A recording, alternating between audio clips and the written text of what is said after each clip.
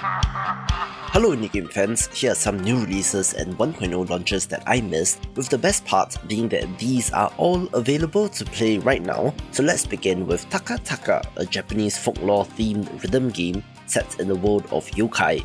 Your unlikely duo must work together to survive, with the colour of the enemies being an important factor in the rhythm action and has a sick art style as well. Here's an interesting party game in the very anime a game in which you're facing off against other players in bullet hell combat, so this is not Mario Party nor Overcooked, instead being a more intense action title.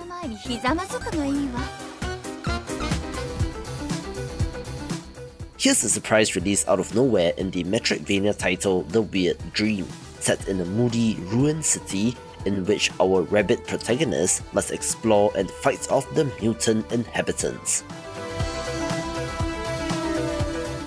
You must uncover the truth behind the destruction of the city, having some sick looking combat and might just have a little bit of Hollow Knight DNA as well.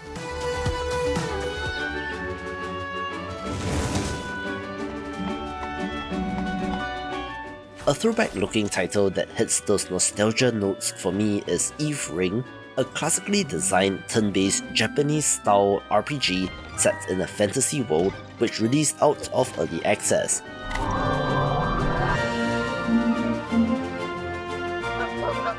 It looks quite nice and at the very least doesn't use generic RPG Maker assets, at least I don't think it does, and has been well received, so if this genre is your thing, perhaps give it a go.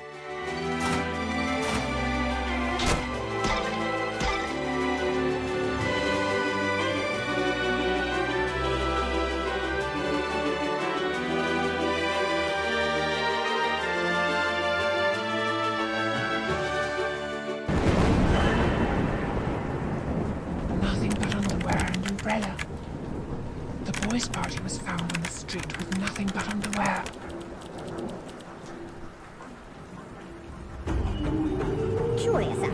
The trust will be revealed after your investigation. Here's an interesting detective narrative adventure game named Turlock Holmes, in which you can ask yes or no questions but the words that you use will be revealed in the blanked off spaces, unraveling the mystery and solving the case, and has quite the positive reaction so far. Any other ideas? Fire. The boy woke up and found that the room was on fire. No time for clothes. He grabbed an umbrella, opened it and jumped out of the window using the umbrella as a parachute. This is the truth of the incident. Good work. Let's see what mysteries await us. Take action. It's time to solve the next event.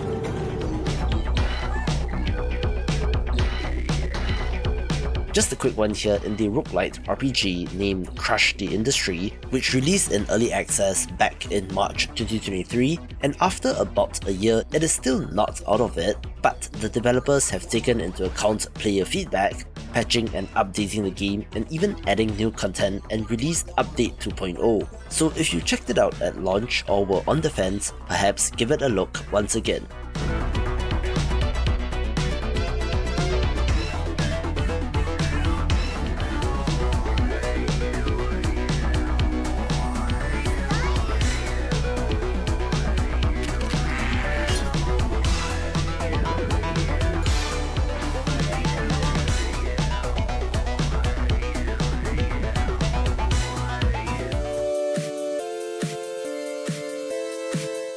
Here's an interesting title that I missed from way back in April 2023, in which Endgame of Devil is an auto battler title that looks intriguing and did release a Lunar New Year update in February, although we might be a little late for that, but I believe the content is still in the game and is worth a look, especially since it has more than 700 Steam reviews.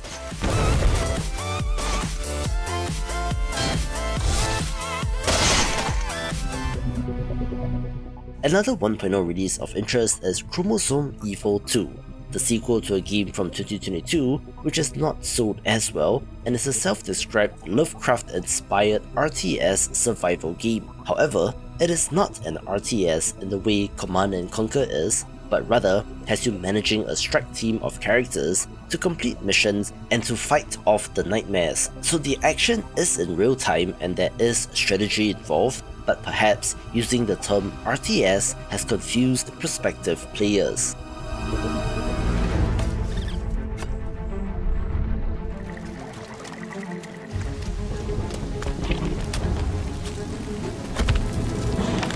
A 1.0 release of note is Smalland Survive the Wilds, another mini character in the natural world kind of landscape that is similar to Xbox's Grounded, but instead of kids in the backyard, you play as a fantasy fairy looking creature in this larger natural world.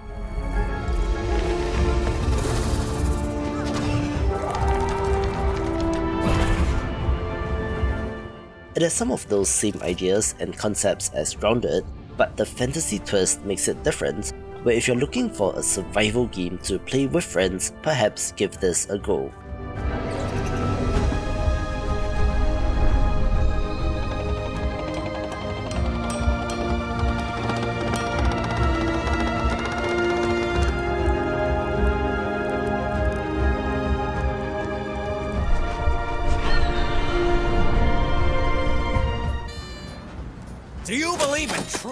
Here's an excellent management sim that puts you in charge of the news, with the trailer for News Tower being excellent, so enjoy. Run your own newspaper.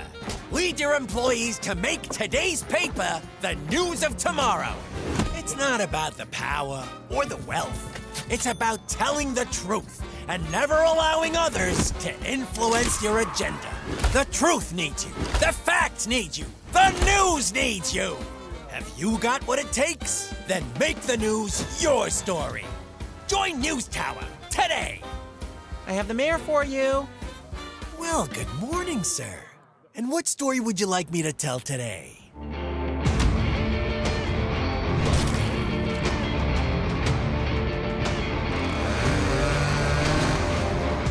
A 1.0 release of interest is Stories from the Outbreak, a turn-based roguelite RPG that, yes, uses the overused zombie theme, but for one, it is pretty decent and is worth a look.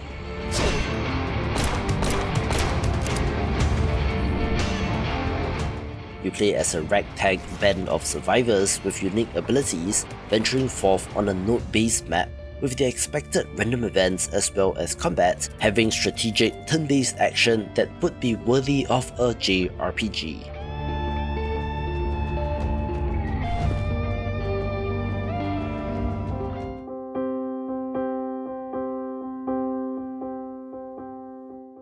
Here's an impressive minimalist management sim that is kind of like Mini Metro since Rail Route has you building a railway network and dispatching trains, releasing out of early access and is for fans of the genre.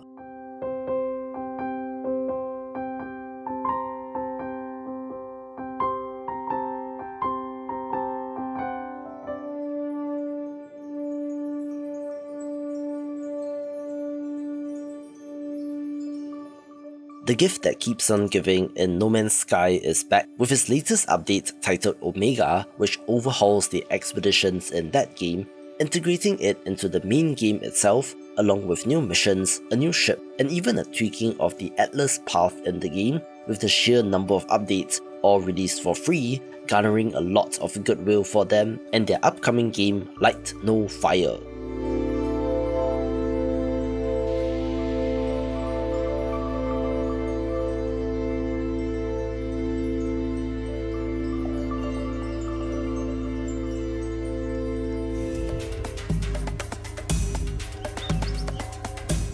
Here's an amazing title that has been described as Dwarf Fortress meets Dungeon Keeper, since in the sandbox roguelite KeeperRL, you play as an evil wizard that has a lair to build out, also having minions to do your bidding. You can lead them to explore the world, invade and murder innocent villagers, but also have to defend your base in what looks like Dungeon Keeper style action. It is a roguelite, so expect to die and retry, and even more amazing is that this game was in early access for something like 11 years, so I'm glad to see the developers stick it through, and hopefully the game will be able to find its fans. A successful release so far is Duelists of Eden, a PvP spin-off of the roguelite Mega Man Battle Network like one Step from Eden from 2020, which was one of my favorite games from that year. I suppose it's a spin-off of that game with less features, hence why it is priced at just $5, with the PvP 1v1 action looking intense and its great pixel art animations as well, but you can play versus the CPU if competitive multiplayer is not your thing or if there's no one playing, having the now expected things like rollback netcode to provide that optimal gaming experience, so maybe it will show up at EVO someday. For more upcoming fighting games, watch this video to learn about 15 such titles.